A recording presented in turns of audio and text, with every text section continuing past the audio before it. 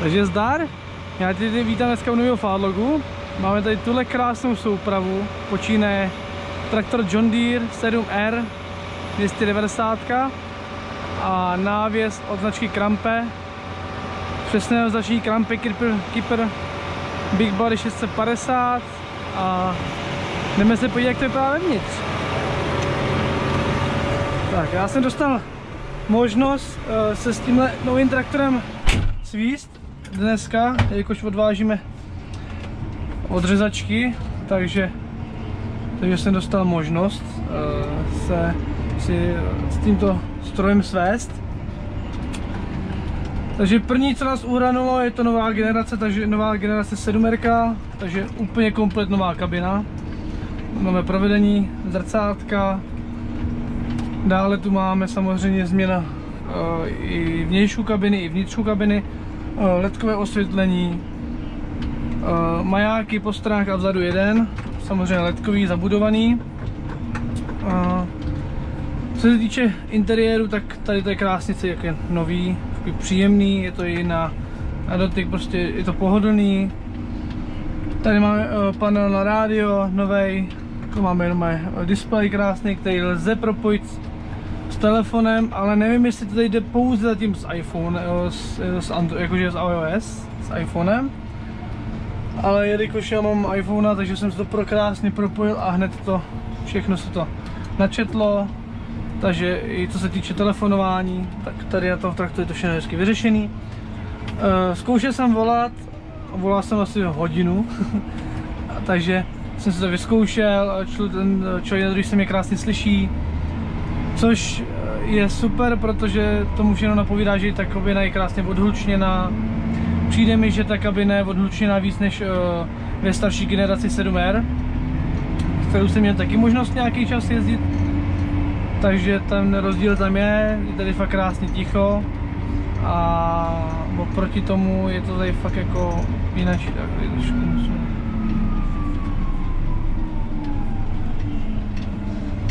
No se, počkej, tady, tady, tady, tady, tady, tady, tak. Tak.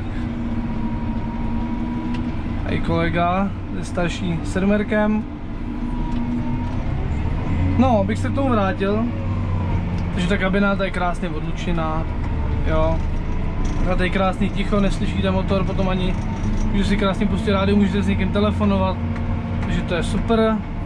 Uh, další, co se týče tohohle traktoru, uh, 7, označí 7R, tak uh, dá se říct, že to je univerzální traktor, jelikož uh, disponuje možnost což znamená rychlá úprava váhy. Eh, je to prostě, ne, abyste nemuseli třeba montovat eh, závaží do kol, tak, tak to závaží máte pod sebou. To závaží máte pod sebou a si tam hydraulicky se tam přitáhnete na podvozek traktoru. Čím si hodně rychle prostě v rychlosti prostě dotížíte traktor, máte třeba traktor například máte traktor v dopravě, a potřebujete ji diskovat nebo nějaká příprava, podrejvání, cokoliv. A potřebujete dotížit traktor rychle, abyste neměli nějaké zdržování, takže že si krásně zajedete na to a dotížíte si stroj. Dotížíte si stroj a můžete hned na polní práce. Takže to je takový, že si prostě nemusíte montovat závaží do kol, protože víte, jak to je zlouhavý kolikrát Eh, tady to prostě udělá jeden člověk, udělá to v finále z traktoru. Má to během pár minut, má dotížený traktor, ale když dáváte prostě závaží do kol, tak je to zlouhavý, potřebujete minimálně 2-3 lidi, jo, jedno do manipulátoru, který tam bude vlastně přindávat, pak někdo to bude jako nasměrovat a podobně a podobně. A dále eh, disponuje převodovkama E23, která je především do pole, a potom je tady autopower, kterou disponuje tento traktor a může to být buď provedený s touto pákou, anebo pak máte páku Command Pro, kterou je disponuje u toho autopowera, takže, takže tam je jako, můžete si nastavit buď tuhle páku, anebo tu Command Pro, záleží asi na každém, co komu bude vyhovovat. Eh, já jsem zatím jezdil s E23 se 7 teď jedu s tím autopowerem a musím říct, že to je fakt velice pohodlný. Eh, to moje teď čerstvá zkušenost, není to, že nějakého z dlouhodobého hlediska, ale určitě mi napište do komentářů, eh, kdo má třeba jak, tento typ převodovky, buď Autopower nebo E23. Určitě mi napište váš názor na tu převodovku, jak jste víc s tím spokojení nebo co byste preferovali, po případě jaký práce děláte, protože ono kolikrát to můžete dělat s takovou převodovkou takový práce, s takovou převodovkou takový práce, ale jasně dá se to vykombinovat. A, a tak. A co bychom k tomu dále řekli? Je to prostě, je to nový, je to nový, krásný. Já jsem měl vlastně možnost to v loni na, na jaře fotit na Moravě, když to přijelo do Česka když tam byla předváděčka, tak jsem měl možnost to točit. Už tam si to oskoušel, takže, takže je to fakt jako nádhera. Jo, tady máte takhle. Když byste mi třeba jezdili přípravu, máte samozřejmě navigaci, nebo setí, cokoliv, tak si můžete dát také nohy sem, abyste tady neměli takhle prostě pro pohodlný takzvané na Harleje. To samé eh, je tady, když, si otočíte sedačku na bok, protože většinou při přípravě, při setí, při čemkoliv eh, takovýhle polních prací máte sedačku bokem, abyste se nemuseli úplně otáčet krk, krkem, jelikož to pak odnáší tedy záda, páter, všechno, takže si otočíte sedačku a pak máte ještě tady takový opěrný, opěrátka na nohy pro pohodlí obsluhy. Musím říct, že z tohle traktoru je nádherný výhled, je mi to hrozně, je mi to hrozně příjemný. Já jsem ještě jednu fůru, než jsem si přesedl na tohle, tak jsem měl ze starší generací 7 a musím říct, že se tady cítím fakt jako vodost líp. I to ovládání volan, všechno mi tady krásně sedne. Tam mi to bylo takový, nebo jestli se nebyl zvyklý, nevím, ale bylo by to takový, že mi to nebylo úplně příjemný, nebo ne, že by to nebylo úplně příjemný, ale bylo takový, a jsem sem přišel do toho velkého traktoru nového a hned se mi to jako fakt se mi to jako ten čumák nádherný. Jo, zase není to nic extra dlouhý, třeba oproti 8 -erku, ten myslím, že má ten čumák o větší. No, jezdíme na takovém svážku, trošku je tam mokro při vjezdu, tak se musí opatrně, ale jsem rád, že jsem dostal tuhle možnost zařídit si tuhle krásnou mašinu, takže Zdravím tě Jirko Pavlíku, děkuji ti moc za možnost si zajezdit s tohle mašinou krásnou. Teď tady teda jezdíme tři, jsou tady tři John Deere, tři krampečka, jedno krampečko je nový, to má nucené řízení. My máme normálně, normálně, máme naplno, máme jaké natačující nápravy hydraulicky, takže my si to musíme zamykat, ty mě tady neotravuj. Jinak lze ty sedačky mít ještě v koženém provedení, tady nejsou teda, ale v koženém provedení. Dá se tam pak nastavit, tady nevím, jestli to v téhle je, ale lze prostě si tam ještě ty, opěrky prostě nastavit elektronicky, aby to prostě va, vašim zadu vyhovovalo. Lze ještě tady mít uh, masáž, takovou takzvanou. To teda v téhle výbavě není, myslím, že to je v té kožené verzi kde si můžete prostě, máte, si zvolit ještě další masáž, masáž takže prostě mas, masíruje vám to záda, tady, tady dole na tom sedá, na ty sedačce vám to masíruje, protože když prostě když v tom sedíte hrozně hodin v té eh, v kabině, tak prostě potřebujete určitý pohodlí. Což prostě bez kompromisu lze prostě, ten traktor má navigaci samozřejmě, takže když potřebujete nic tady to, takže polní práce, navigace je už dneska vlastně standard. Jo, tady máte sloty na nabíjení, na USB, tady máte další nějaký tříkolíkovky, tady máte tříkolíkovku, tady bude tady USB, to myslím, že je pro servis, tady máte zapalovač, tady máte AUX, kdybyste si chtěli propojit uh, telefon takhle přes rádio, ale většinou už to je přes bludko, anebo flešku, kterou tam mám já, tady máte nějaké další tříkolíkovky, jelikož se předpokládá, že v těchto velkých strojů budou nějaké různé počítače, ty mašinám, který bude tahat, takže tady jsou takhle dostatek těchto těch tříkolíkovek a dalších zásobek. Co dál bych tady mohl jakože eh, vyzdvihnout, je lednička, tady. Celkem myslím, že je dost prostorná. Nastavíte si tu teplotu. A, a tak je to fakt jako, musím říct, jako jestli tohle povedlo, tenhle traktor. Vím, že to hodně lidí odsuzovalo na začátku ten design, ale je to vždycky o zvyku. Myslím si, že jako John Deere ví, co dělá, takže ten design je super. A jak říkám, ten výhled z toho traktoru je nádherný, máte přehled prostě o všem. Ty zrcátka jsou parádní, máte prostě, vidíte i pod takzvaně vedle sebe ostrý úhel dolů, kde je někdy prostě potřeba vidět, když něco objíždíte. Takže to je velký plus, si myslím, dost velký plus. A určitě kdo má možnost, tak si určitě vyzkoušíte takovýhle tento traktor, protože to je zážitek pro mě teda. Je to fakt zážitek, takhle s takovou mašinou asi jezdit. Přece jenom každý den se nedostanu takovýhle mašině, abych s ním mohl jezdit. Takže se člověk musí užít. Takže tak. A sklízíme už takovou starší trávu a nenahrnovalo se to do řádku kvůli tomu, aby ta nebyla hlína, je to tak, jak to posekla ratačka, vychází to na adapter ze tačky, tak akorát, takže uh, je tam asi menší pravděpodobnost, že by tam mohl být kamen nebo nějaká hlína. Takže, takže je to zase o něco lepší. Takže proč ne? Když to takhle funguje, tak si myslím, že není důvod uh, to měnit. Tady mají to nový krampečko, Big Body 700. Uh, nemá odpružení na na listových perech, jako jsou tyhle krampečka, ale už má měchy. Celá obsluha se, majitel se ho celkem chválí, že to je jako fakt jako pecká. Jediný, co by tam mohlo být třeba časem problém, je asi udržba u těch měchů, jakož ty listové pere jsou na udržbu jakože asi uh, jednodušší. Ale myslím si, že zase uh, to pohodlí, pro to, pohodlí se nahradí úplně tohleto, takže si myslím, že to pohodlí tam úplně se všechno vynahradí. Jo, já jsem s tím jel s tím letím jednu fůru a ten návěs jen tak houpe, prostě jen tak... Fakt to krásně pracuje na těch měchách, ale...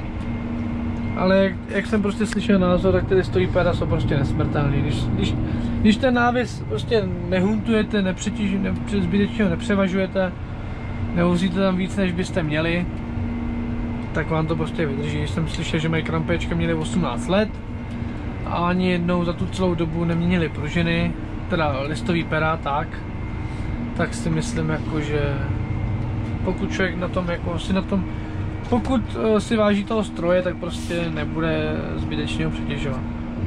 Tak, máme chvilku čas, tak se jenom tady podíváme, co tady ve zkratce máme.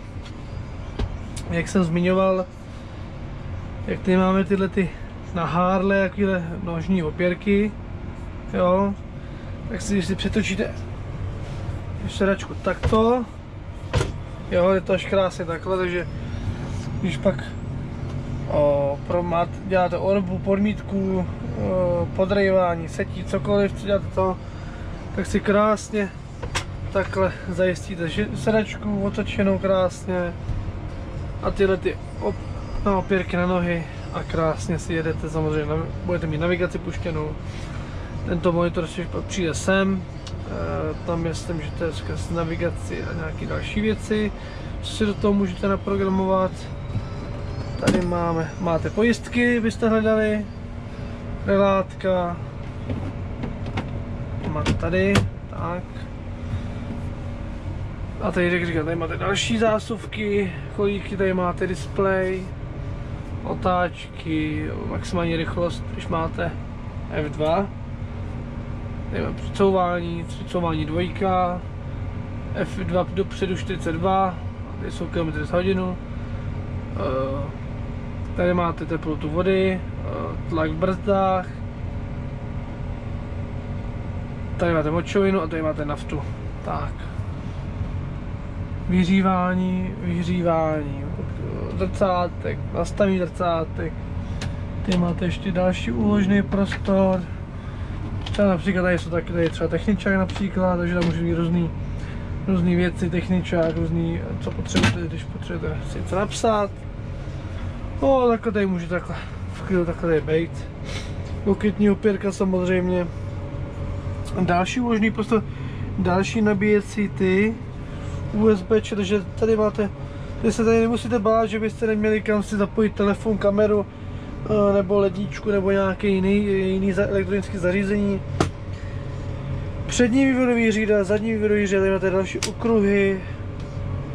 To je pátý, šestý okruh. Tady si můžete zamykat, tady máte ovládání ramen, zamykání ramen. Automaticky myslím, že daní do ramen. Klimatizace, tady máte na k, tele, k rádiu, položit hovor, tady myslím přímo hovor, ovládání hlasitosti a když má takhle, jo, nemusíte šmatat někde tady, jo, takže přepínání hudby, tady máte výstražný potkávat, eh, markovačky potkávatý pracovní maják, předek, automatický předek, ty už taky sklapní. Uzávěrka, automatická uzávěrka, máte další hydraulické okruhy tady. Tady je dobrý, jak máte tyhle ty přerádky, tak třeba budete to mít zapojený na tom, na tady ty tři okruhy budete mít.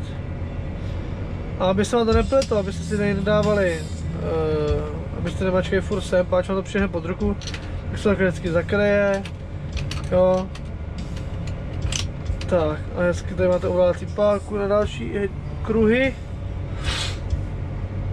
Zamykání okruhů. Je to ovládání otáček motoru. Můžete se nastavit. Tady pak máte režim převodovky, nastavení, můžete se nastavit otáčky, jako uh, uživatelský, plně automatický, můžeme mít na pedál, ruční, to prostě hezky nastavit. Tady máte eh, výborový řídel, nastavení otáček, můžete se nastavit Eco, 540 tisíc, tisíc Eco, uh, takže tady jsou prostě široké nastavení.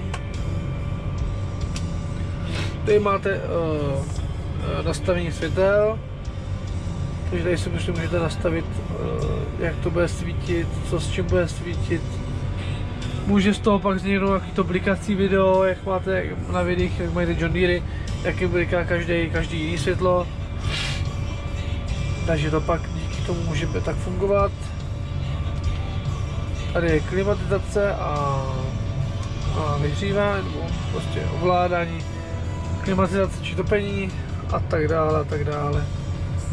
Hydraulické okruhy, tady máte pak nastavení ramen, agresivity, rychlost pouštění, rychlost vedání, citlivost prokluzů, uh, nastavení hloubky, jo, takže tady si můžete třeba tak nastavení hloubky, jo, je široké nastavení toho, takže můžete se vřít, máte kolečko, s tím tam můžete taky agregovat, podobně s tím tady můžete posouvat, tady máte navigaci, momentálně aktivní není, nabídka, máte tady různé věci, co, co můžete použít, takže takže tak. A já pojedu pomalu tam, takže. Teď se zpátky dám svou žiličku zpátky, tak. Jau, tak tohle bylo hnusně omlouvám. Tak, no, ono to tak je, ono to lepší, že se takhle, že? Tak, jo.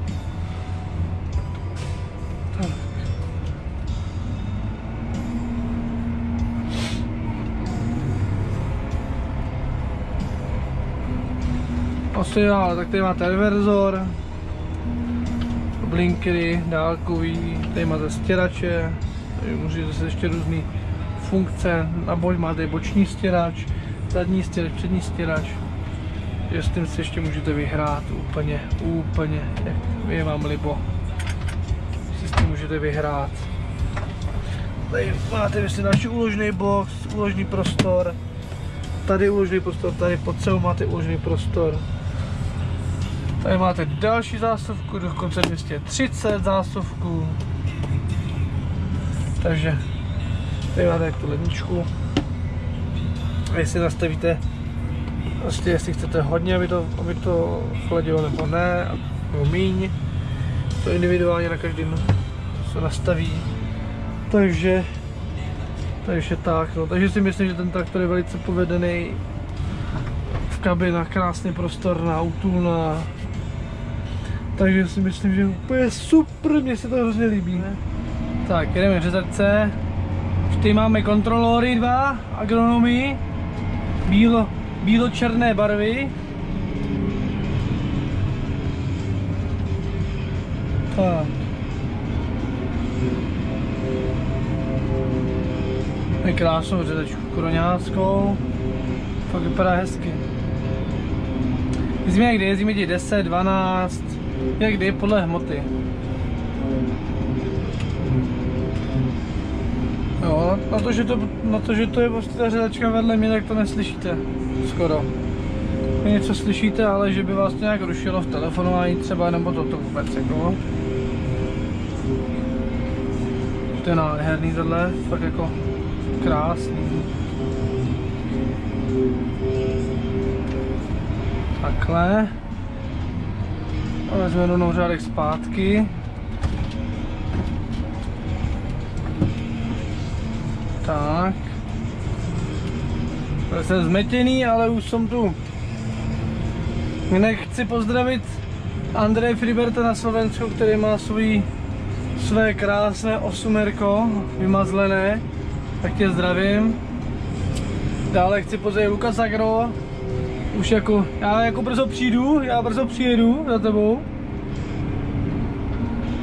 A Koubíček Kristiána,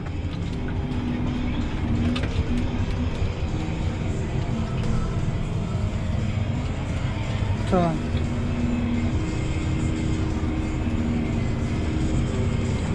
O, já se musím soustředit a vždycky přestanu mluvit. Pozdravuji všechny, všechny fajn lidi.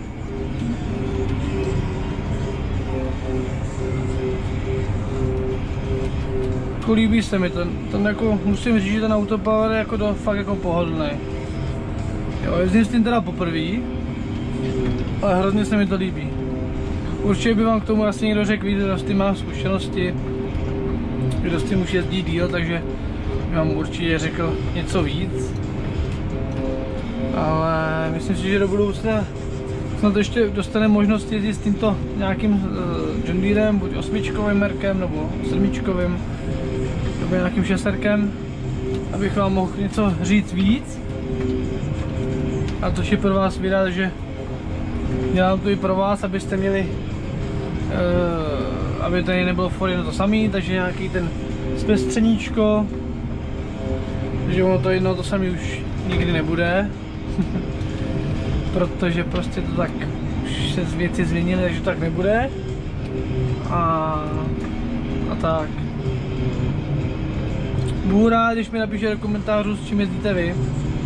Jestli kolik tady je schválně, kolik tady je lidí, co obsluhuje traktory John Deere.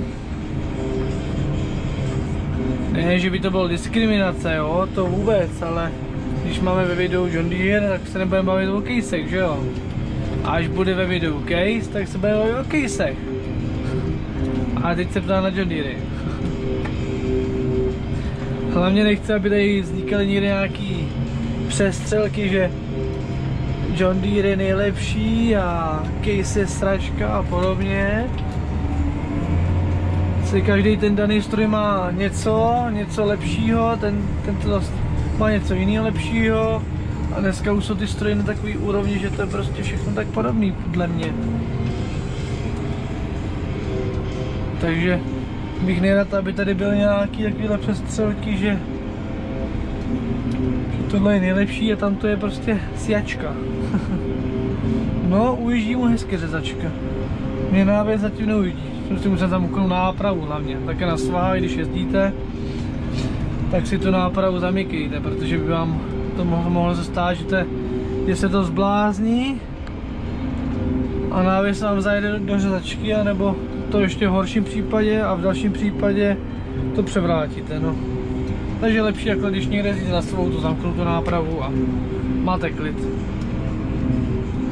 Je mnohem, mnohem menší pravděpodobnost, uh, že by se to mohlo převrátit, ten návěs. I když tyhle krampáky, oni jsou bytelný, jako oni vydrží hrozně moc.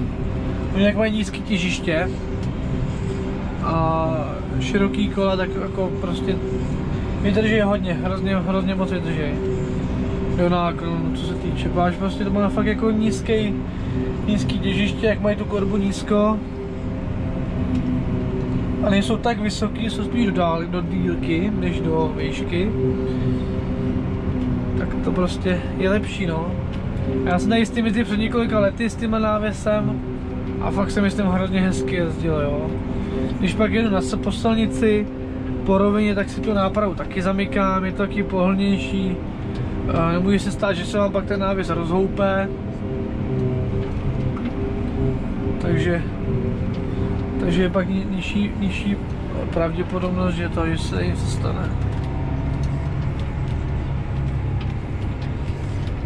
Tak, kurně, já se otočil jako tady dole.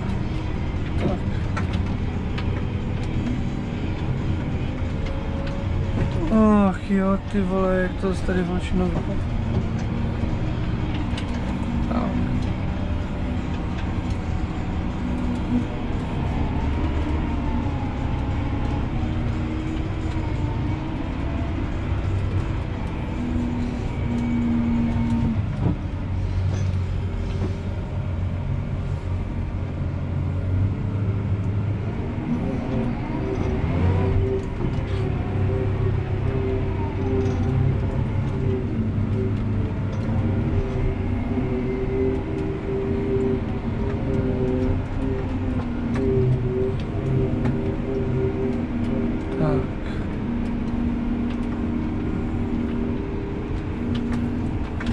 Točíme to, a jestli teď už to doplníme na tomhle řádku. Tak. Ani zamku nápravu, aby nám se to nikam nerozcestovalo, ten návěs. Tak určitě eh, ještě bych chtěl eh, připomenout, určitě nabíhejte na YouTube kanáček Farming teda to video točím 4. července, ale to video bude teda vydané až o dost díl. A jelikož včera vydal Johnny eh, video z Francie, kde byl točit s Farming Together, nebo spíš na Farmě Together, kde se zabývají prostě minimalizací zpracování půdy, prostě minimalizací v tak tam natočil krásný, dlouhý, krásný video, kde se dozvíte mnoho informací. Je tam technika, kterou v Česku moc neuvidíte. Takže určitě nabíjejte na YouTube kanál Czech Farming a určitě odebírejte, sdílejte jeho videa, ať si zaslouží sledovanost. A určitě můžete naběhnout na merch na web www.farmfan.cz do kategorie Instagram YouTube, kde najdete můj merch, ale i Johnnyho merch. že pokud chcete být na letošek oblečený stylově, tak určitě neváhejte zakoupit oblečení s mým nebo s Johnnyho logem. A pokud chceš podpořit, můžeš i na Paypal podpořit nebo na účet, cokoliv, ale, ale prostě jsem rád za jakýkoliv podporu, ať už sdílení, like, koment, nebo už jen to, že se na to podíváš prostě. Tak, frčíme. A Bero! Šponu bere, bere šponu.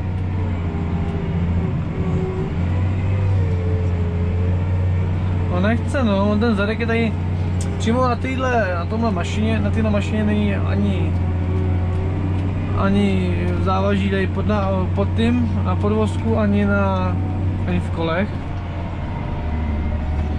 Takže traktor je takový mi zdá lehčí. Takže by se slušilo mu dát nějaké závažíčko. Já si to užívám, já se kochám. Pak je to pohodlný, co se týče odpružení kabiny. Tak pak je to pohodlný, protože víte, jak dneska vypadají ty louky od prasat rozrytý. I ty poslední roky nebyly úplně ideální na sklizení na loukách, takže bylo mok bylo mokro, dělali se koleje a i navzdory tomu, že to je louka, je celkem jakože místem rozrytá, tak musím říct, že to je fakt traktor pohodlný, takže můžu doporučit, co se týče tohohle. Ale nejvíc asi posoudíte sami, když si to vyzkoušíte, určitě eh, vám prodejci, díleři umožní vyzkoušet si traktor John Deere 7R nebo jinou modelovou řadu. Myslím, že v tom určitě neuvidí problém, jelikož se to dost předvádí, je hodně předvádějících strojů, takže si myslím, že v tom vůbec problém nebude si traktor půjčit, vyzkoušet a třeba se rozhodnou, že si, ho, že si, pořídí, si ten traktor pořídíte.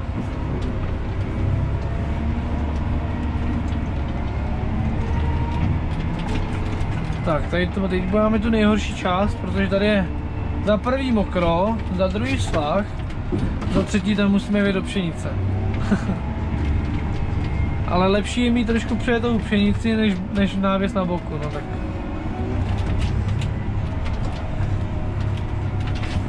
Takže... Ježišmarja, Marie.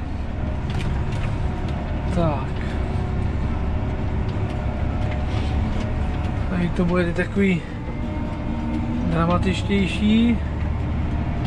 Jsem pomalu, no. ono se řekne rychle, ale člověk neví, co ten návěs udělá při tomhle, takže tady se musí houpat opatrně.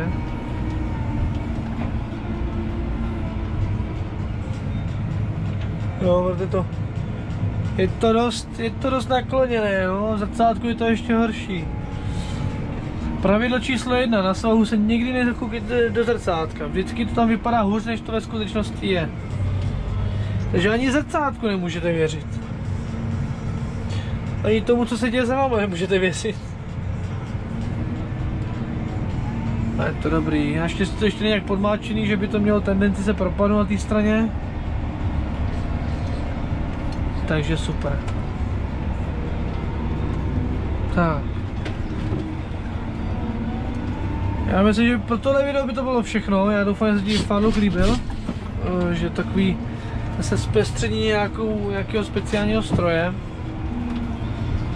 A doufám, že se ti fanuk líbil. Pokud jo, tak určitě dej like, sdílej, komentuj. Pokud tě něco zajímá, podpo, podpoří, můžeš mi podpořit, koupit merče a tak dále a tak dále. A já se budu u dalšího fádu na to těšit a zatím se měj a zdar.